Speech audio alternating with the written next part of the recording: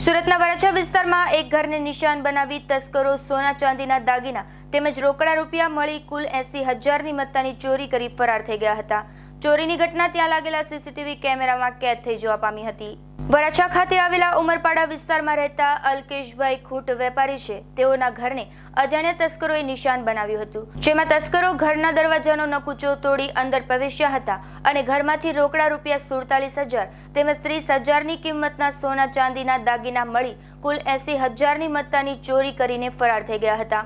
ચોરીની આ ઘટના ત્યાં લાગેલા સીસીટીવી કેમેરામાં કેદ થઈ જવા પામી છે. તો બીજી તરફ બનાવની જાણ થતાં ઘર માલિકે વરાછા પોલીસ મથકમાં ફરિયાદ નોંધાવી હતી. તેઓની ફરિયાદના આધારે વરાછા પોલીસે ગુનો નોંધી વધુ તપાસ હાથ ધરી છે. Bureau report, GTV news, Surat.